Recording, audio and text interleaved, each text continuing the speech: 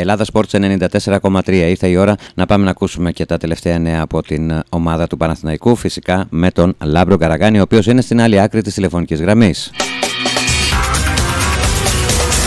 Ελλάδα Sports 94,3. Καλησπέρα και πάλι, και πάλι λέω, και απόψε, ε, Λάμπρο. Γεια σου, τι κάνεις; Καλά, εσύ πώς είσαι; Καλά, φίλε. Έχουμε ονόματα; Ε, να αρχίσουμε την προπόνηση. Ε, ολοκληρώθηκε η προπόνηση πριν από κάμποση ώρα, ήταν απογευματινή. Δυνατές προπονήσεις μαθαίνω ότι κάνει ο Αλόνσο ε, και αυξημένες και σε διάρκεια. Να δούμε... Ε, Εννοείς ε, χρονική διάρκεια, ε; Χρονική διάρκεια βέβαια, ναι, ναι, χρονική διάρκεια. Αυτό γινόταν και έξω που ήταν. Ναι, ναι, ε, κάνει μεγάλες προπονήσεις. Ε, μια μισή με δύο ώρες διαρκούν τα προγράμματα. Ε, να θυμίσω ότι με τον Τερίμ στο διάστημα των τραυματισμών οι προπονήσεις είχαν φτάσει τις δύο ώρες ενώ πριν ήταν περίπου μία ώρα και 15 λεπτά με μία μισή ο Αλόνσο φαίνεται ότι τις επιμηκύνει λίγο. Τώρα δεν έχω δει προπόνηση για να σου πω το πρόγραμμα, δηλαδή τι ακριβώς ε, κάνει πέρα από αυτά που βγάζει ο Παναθηναϊκός, δηλαδή τις ασκήσεις, τακτική, ρόντο κτλ. Ε, και ήταν και υψηλής έντασης σήμερα. Δηλαδή και είχε και τρέξιμο και ασκήσεις με μπάλα. Ε, ε, όπως είχα πει, δεν θυμάμαι το είχα πει σε σένα βασικά, κάπου το είχα πει αυτές τις μέρες. Ε, ακούω πολύ καλά λόγια, μαθαίνω μάλλον πολύ καλά λόγια για τον Νίκολας Μαϊντάνα, τον γυμναστή. Ναι, το, ε, το, και σε μένα το έχεις πει εδώ στην εκπομπή, το έχουμε πει Είναι σημαντικό αυτό, να, να δούμε τι φυσική κατάσταση όταν μπαίνεις σε μια μεγάλη χρονιά ανεξαρτήτως τα υπόλοιπα θα πω εγώ, δηλαδή τα μεταγραφικά και όλα αυτά που θα συζητήσουμε και σήμερα, είναι πολύ σημαντικό να υπάρχει αντοχή. Γιατί βλέπαμε το Παναθηναϊκό ε, τα προηγούμενα χρόνια μετά το 60-65 να, πώς το πω, να υποχωρεί σε δυνάμεις. Όπως ας πούμε θυμί, θυμίζω το παιχνίδι τηλεοφόρο με τον Ολυμπιακό, ε, όπου έχει κάνει ένα 65 λεπτό με τον Χρήστο Κόντι στο, στον πάγκο όνειρο και κάτω από δύσκολες συνθήκες, ενώ και γκρίνια στην εξέδρα, με συλλαλητήριο πριν, με το κύπελο να έρχεται, ε, και έχει κάνει ένα 60 λεπτό, 65 λεπτό φοβερό, φοβερό Παναθηναϊκός, αλλά στο τελευταίο 20 λεπτό, 25 λεπτό έμεινε πίσω. Γενικά η διαχείριση, όταν θα έχεις και καλό ηχόντων των πραγμάτων, αν φτάσει ο Παναθηναϊκός σε league state, θα έχει και συνεχόμενα παιχνίδια, είναι πολύ καλό να υπάρχει φυσική κατάσταση. Δηλαδή θα έχει κερδίσει ένα στοίχημα ο Αλόνσο με αυτό. Ε, αλλά μένει να το δούμε. Ε, δεν υπάρχουν προβλήματα. Είχαμε την πρώτη του Μαξίμοβιτ σήμερα. Χθες. Ε, χθες λέω. Ναι, σήμερα είπα. Ναι, ναι, ναι χθες. Χθες, ήταν η πρώτη. Βέβαια, βέβαια. Ε, πέραν του Φώτη Ιωαννίδη που κάνει ατομικό πρόγραμμα, συνέχισε με ατομικό. Εδώ τώρα να πούμε κάτι για τον Ιωαννίδη πέραν των μεταγραφικών που φαντάζομαι θα με ρωτήσετε. Ναι, με έχουν έρθει μηνύματα με το, από την Πορτογαλία, το εξώφυλλο εκεί που... Βεβαίως, βεβαίως. Θα τα πούμε όλα αυτά. Ε, στο κομμάτι το ιατρικό φαίνεται ότι ο Ιωαννίδης είναι καλά. Δηλαδή έχει ξεπεράσει την κάκωση στον νόμο.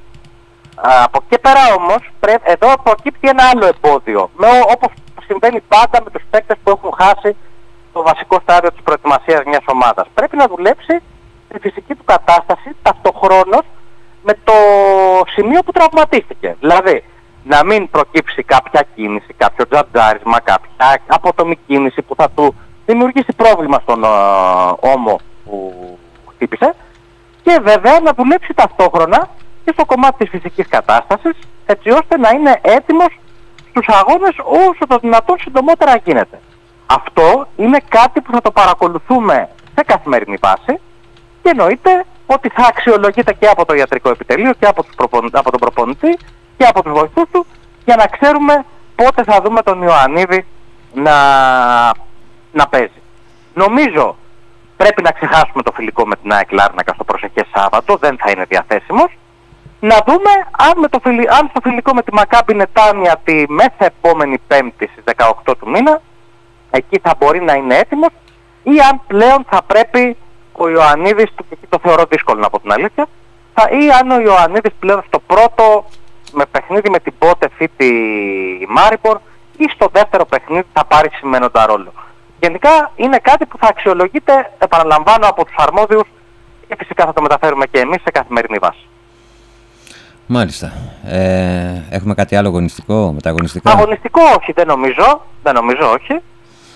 Ε, από εκεί και πέρα. Να μείνουμε, να, ναι, στα μεταγραφικά, αλλά να μείνουμε στο Ιωαννίδη. Στο φώτι, στο φώτι, αφού ήμασταν στο φώτι, γιατί ε, καλησπέρα λέγει ο φίλος ο Θανάσης ε, και βλέπω μια ε, από τη Ρέκορτ, ναι, αν δεν κάνω λάθος, ένα πρωτοσέλιδο το σημερινό και η Αμπόλα που λένε ότι έχει αναθερμανθεί, αν πρώτο πω έτσι, το ενδιαφέρον για το φώτι. Ναι, οι Πορτογάλοι γράφουν ότι άνθρωπος από τη Sporting Λισαβόνας ήρθε στην Αθήνα ή θα έρθει στην Αθήνα για να κάνει την τελική συζήτηση με την ομάδα και τον παίκτη. Νομίζω η Sporting η οποία έχει αποσυρθεί σύμφωνα με δημοσιεύματα πάντα πριν από λίγες ημέρες για τον Φώτη Ιωαννίδη. Ε, δεν ξέρω, να πω, να πω την αλήθεια, δεν ε, γνωρίζω κάτι περισσότερο από αυτό που γράφουν οι Πορτογάλοι, αν βρίσκεται δηλαδή κάποιος άνθρωπος εδώ ή αν θα έρθει ή ποιος θα είναι ο κύκλος των διαπραγματεύσεων. Μένει αυτό να αποτυπωθεί, γιατί αν αποτυπωθεί θα το μάθουμε αργά ή γρήγορα, σε επίσημη πρόταση, σε μια βελτιωμένη επίσημη πρόταση. Εδώ να θυμίσω ότι ο Παραθυναϊκός έχει απορρίψει επισήμως, το έχει πει αυτό δηλαδή, 25 εκατομμύρια από την Ipswich. Ε, η οποία πήρε κιόλας τον Λάιαμ Ντέλλαπ όπως σου είπα χθες από τη Manchester City, οπότε έχει κλείσει νομίζω αυτό το κεφάλαιο. Ε, εντάξει, είναι κάτι που το καταγράφουμε, το, εγώ πιστεύω ότι θα έχει πολλά επεισόδια το φετινό καλοκαίρι η υπόθεση Ιωαννίδη. Να πω την αλήθεια, με τη Sporting, αν δεν ανεβάσει την προσφορά της σε πολύ μεγαλύτερο επίπεδο το θεωρώ δύσκολο. Εγώ νομίζω ότι αν αυτή τη στιγμή με ρωτούσες, ας πούμε, σε μια υποθετική ερώτηση, ε, ποια ομάδα έχει το προβάδισμα, θα σου έλεγα η Μπολόνια. Αλλά και πάλι ο Παναθηναϊκός ε, δεν έχει αλλάξει τη θέση του. Ότι δεν έχει τη διάθεση να πουλήσει τον Ιωάννιδη ε, και δεν έχει και κάποια πρόταση η οποία να τον καλύπτει αυτόν τον παίκτη. Νομίζω, αίσθησή μου είναι και όχι πληροφόρηση, ότι αυτό μέσα στη διάρκεια του καλοκαιριού θα αλλάξει. Δηλαδή θα έρθει μια πρόταση που θα καλύπτει πιστεύω και τον Παναθηναϊκό και τον Ιωαννίδη. Αν καλύπτει τον Ιωαννίδη θα είναι αναγκασμένος ο Παναθηναϊκός να καθίσει στο τραπέζι να συζητήσει αυτή την πρόταση. Επίσης, βλέπω μια αργοπορία και σε αυτό το κομμάτι, διότι γνωρίζαμε και είχα, το είχαμε πει και στον κόσμο που μας ακούει, ότι θα καθίσουν κάποια στιγμή οι δύο πλευρές στο τραπέζι για αυτήν την επέκταση του συμβολέου του, το οποίο τώρα είναι μέχρι το 27, ε, για μέχρι το 28, δηλαδή συν ένα επιμήκυνση χρονική και με πολύ καλύτερες απολαβές. Να θυμίσω ότι η προηγούμενη είχε γίνει τον Μάιο του 23. Επομένως, το περιμένουμε, όχι γιατί, γιατί πιέζει ο χρόνος να επεκτείνει ο Παναθηναϊκός με τον Ιωαννίδη, αλλά για να προσφέρει και στον παίκτη ένα συμβόλαιο το οποίο να είναι αντάξιο της uh, συνεισφοράς του. Δεν θα πω ότι είναι ο πιο επιδραστικός. Κατά την ταπεινή μου άποψη, ας πούμε, στο δεύτερο εξάμεινο της σεζόν υπήρξε ο πιο επιδραστικός παίκτης ο Μπερνάρ και απόδειξε ότι στα παιχνίδια που δεν ε, αγωνίστηκε ο Μπερνάρ όταν χτύπησε στη Λαμία μετά τη Λαμία ο Παναθηναϊκός κύλησε αγωνιστικά. Ναι, φάνηκε η απουσία του. Ναι, ο Ιωαννίδης υπήρξε μέσα, μέσα, ε, μέσα στους δύο-τρεις ας πούμε πιο επιδραστικούς. Δηλαδή νομίζω μαζί με τον Μπερνάρ, ας μην πω μετά τον Μπερνάρ, μαζί με τον Μπερνάρ ήταν οι δύο πιο επιδραστικοί ποδοσφαιριστές σε όλη τη διάρκεια της σεζόν αν πρέπει να κάνουμε μια συνολική εξειδίκη. Αριστερό μπακ τι γίνεται ε, με, το, με το Γιαννούλη. Αριστερό, αριστερό μπακ ε, δεν έχω κάτι καινούριο με το Γιαννούλη. Ακούγονται... Ποιος, εσύ, ένας φίλος ακροατής σου είχε πει για Αλεξάνδρο. Mm, ναι. Τι με είχες ρωτήσει, όχι χθες, προχθές, προχθές νομίζω. νομίζω ναι, ναι. ναι, ο Αλεξάνδρο πράγματι γράφτηκε σήμερα, στο σελίδα sportal.gr το έγραψε, ε, ότι έχει προταθεί στον Παναθηναϊκό και το Παναθηναϊκός εξετάζει την περίπτωσή του. Ο Άλεξ Σάντρο που θα θυμόμαστε ότι είναι ένας παίκτης που λίαν, ε, μάλλον πολύ πρόσφατα, την προηγούμενη τριετία, τετραετία η χρηματιστηριακή του αξία έφτασε στα 50 εκατομμύρια. Αγωνίστηκε στη Juventus, ένας παίκτης ο οποίος έχει πάρει και πρωταθλήματα Ιταλίας και Super Cup Ιταλίας, έχει πάρει και Copa America αν δεν κάνω λάθος, έχει πάρει και πρωταθλήματα στην Πορτογαλία, ένας α, πολύ μεγάλος παίκτης, ο οποίος είναι ελεύθερος, αγωνίζεται στη θέση του αριστερού μπακ δεν, ε, φαντάζομαι ότι για να το γράψει η ε, έγκυρη στο σελίδα Sportal έτσι θα είναι, ότι έχει προταθεί, δεν το γνωρίζω προσωπικά. Αλλά αν ο Παναθηναϊκός κοιτάζει κάτι τέτοιο, και με έναν παίκτη μιλάμε τώρα πρόσεξε που μπορεί να είναι στα 33, αλλά δεν είναι περίπτωση Αλόνσο, Μάρκος Αλόνσο. Ο Σάντρο πέρυσι έχασε 15 ημέρες λόγω τραυματισμών. Που είναι μέσα στο ποδόσφαιρο. Δεν μπορείς να πεις ότι είχε κάποια, κάτι σοβα, κάποιο σοβαρό τραυματισμό παρά την έτσι, προχωρημένη αθλητική του ηλικία, 33 ετών, πολύ γερός, γερός κάρι. Ε, τώρα κοίταξε τα δύο τελευταία χρόνια από την αλήθεια, δεν θυμάμαι στο παρελθόν αν έχει κάποιο τραυματισμό. Άρα ο Παναθηναϊκός κοιτάζει τέτοιες περιπτώσεις ε, πράγματι νομίζω ότι μπορεί να, να, να ελπίζει ότι μπορεί να φέρει ένα καλό ποδοσφαιριστή. Ακριβώς και στενεύουν πολύ τα χρονικά περιθώρια για... Ναι, γιατί να ολοκληρώσω Σάκη μόνο αυτό ότι ο Σάντρε είναι ένας παίκτης που δεν θα έρθει με κάτω από 2,5-3 εκατομμύρια το χρόνο. Έτσι. Είναι, δηλαδή θέλει να πληρωθεί για να έρθει, δεν έχει μια πρόταση σε αυτά τα λεφτά, δεν νομίζω ότι θέλει να πάει στα, στην Αραβία που έχει κάποιες κρούσεις, θέλει να παραμείνει στην Ευρώπη. Αν ο Σάντρο είναι ένας ε, παίκτης που έχει προταθεί και ο Παναθηναϊκός είναι διατεθειμένος να τον πληρώσει αυτά τα χρήματα, τότε μπορεί να ελπίζει. Πράγματι όμως έχει χρονοτριβήσει πάρα πολύ η υπόθεση του αριστερού μπακ. Ε, αριστερός εξτρέμ, μάλλον εξτρέμ δεν, δεν έχει έρθει. Ο Ευάγγελος Μίχος είπε κάτι το πρωί το οποίο δεν ξέρω αν το θυμάσαι, το είχαμε πει στην εκπομπή σου πριν από 2-3 ναι, μήνες. σας άκουγα όταν, το πρωί, ναι. Όταν, όταν συζητούσαμε για την περιβόητη λίστα Τερίμ με Χατζηδιάκο, Γιαννούλη, ναι, ναι, ναι. Πάρκα ε, και σου είχα αναφέρει και το όνομα του Λαμέλα, του Έρικ Λαμέλα. Ο Λαμέλα αυτή τη στιγμή συνδέεται με την ΑΕΚ. Ο Ευάγγελος ε, είχε μια πληροφορία από αυτές που αναφέρει ε, σχεδόν σε καθημερινή βάση ότι ο Παναθηναϊκός είναι μια ομάδα η οποία έχει ενδιαφερθεί για το Λαμέλα. Δεν το γνωρίζω ούτε αυτό, σέβομαι απόλυτα την πληροφόρηση του συνάδελφου. Ε, και, ε, το, και περιμένουμε να έρθει ένας παίκτης ο οποίος να έχει πολύ καλά χαρακτηριστικά. Δηλαδή, πράγματι, αν ο Παναθηναϊκός φέρει τέτοιους παίκτες, ε, όλο αυτό δεν ξέρω αν θα μαζευτεί, δεν ξέρω αν θα σώσει ενδεχόμενο αγωνιστικό κίνδυνο, γιατί ο Παναθηναϊκός αυτή τη στιγμή έχει θέσει αυτόν σε αγωνιστικό κίνδυνο, για να τα λέμε όλα είτε παίξει με την Πότεφ, είτε παίξει με τη Μάριπορ.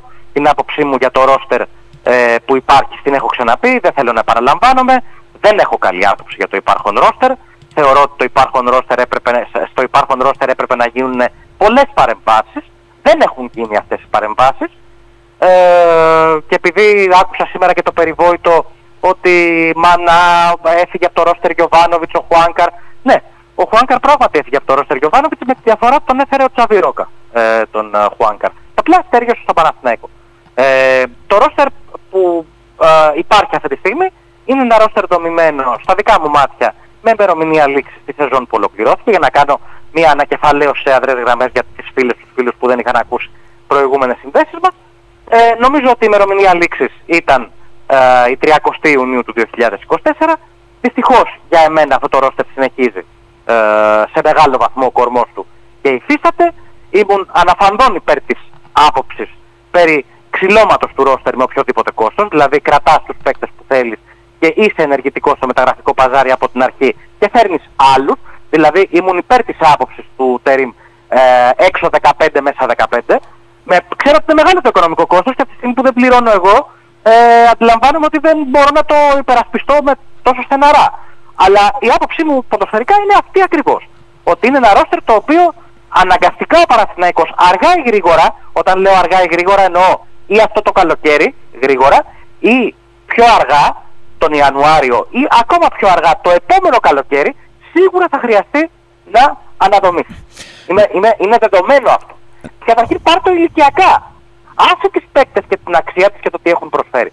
Πάρ το ηλικιακά. Ο Παναθηναϊκός έχει αυτή τη στιγμή μια ομάδα η οποία ο μέσος όρος ηλικίας της είναι νομίζω δεν το έχω εύκαιρο, ανώτερος άνω των 29 ετών. Έχει ένα ρόστερ το οποίο θέλει ε, ανανέωση.